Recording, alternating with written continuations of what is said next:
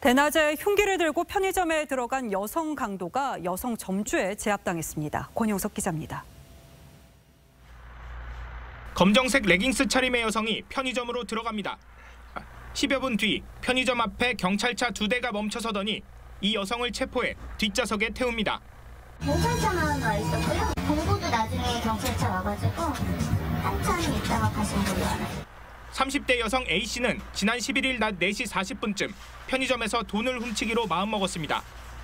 A씨는 인근 마트에서 훔친 흉기를 들고 이 편의점으로 들어갔습니다. A씨는 편의점 안에 있던 손님들이 나가길 기다렸다가 흉기를 들고 계산대로 다가갔습니다. 그래가지고 돈 내라고 하는데 카운터 안으로 들어오더래요. 카운터 안으로 들어와가지고 돈 내라고 자꾸 금고를 열으라고.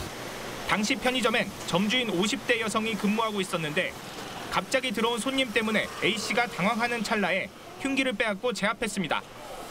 A씨는 경찰 조사에서 생활비 때문에 우발적인 범행이라고 진술했습니다. A씨는 특수강도 미수 등 혐의로 구속됐습니다.